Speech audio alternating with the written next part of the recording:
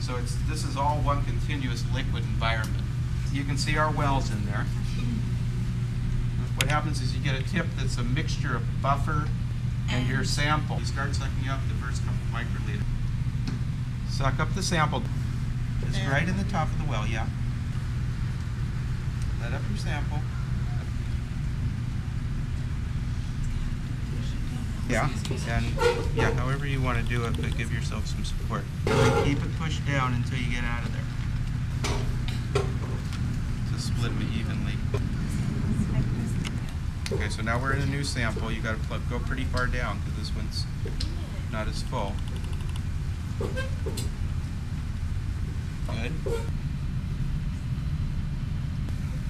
And then just pull up your pipette. So which end of the gel do we want the positive pole to be? On the opposite. No, away from the. Away from the tangent. Done, and I'm gonna go fragments and figuring out size, and you can do that right now. We're looking at a fairly large range of molecular weights. And now we can go over on our log plot and determine the size of those fragments. That line, and then you have this line. Right.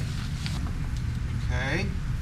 And now you can see we have our two dyes. They've run differing amounts from the well. Get even better. Plasma 2, unknown 3, marker, marker, and then there's the marker way over here.